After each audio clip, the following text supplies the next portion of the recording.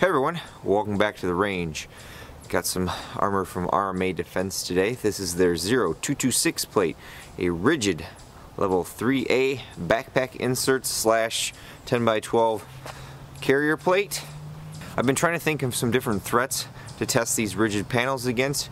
They're really good at stopping even the high-speed 5.7 rounds, except of course when you go to the SS-190 or the SB-193. This plate stopped the Elite Ammunitions Devastator 3.0 round. Today we're going to try the Fort Scott Munitions 80 grain solid copper spun round against these out of the CZ Scorpion Evo 3 with the 7.72 inch barrel and we have a CMMG guard with a 16 inch barrel if the CZ can't do it. We'll be at 10 to 12 feet. Our Pro Chrono Digital as always. We have our new giant clay briefcase. Let's see what we can do to this guy. We'll take the shot with the Evo first. Put this right up in the corner.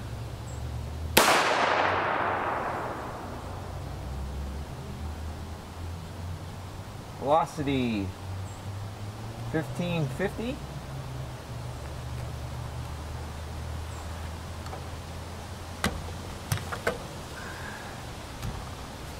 Now we'll grab a shot from our 16 inch carbine.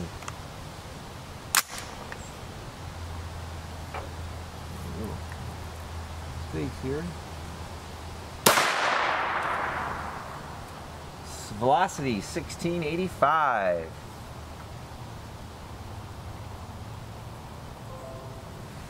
Here was our shot from the Evo. Here was our shot from the Guard. What do you guys think?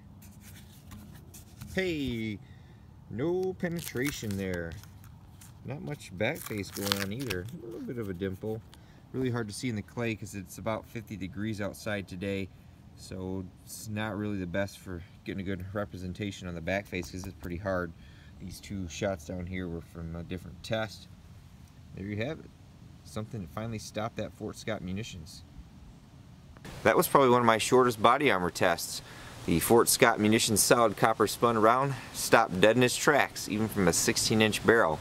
I have been told that Fort Scott Munitions offers an LEO only version of that in brass, not sure on the weight. But they do sell this bullet in component wise, so we may be able to get a little more velocity out of it, but I'm not sure if that's still going to be enough to penetrate this level 3A plate from RMA Defense. If you all would like to see any other threats tested against this, always leave a comment below and we'll try to accommodate. This is a pretty fresh panel so I've got a lot of space left on it. I'd like to thank RMA Defense, you all for watching and my Patreon supporters. Until next time, catch you at the range.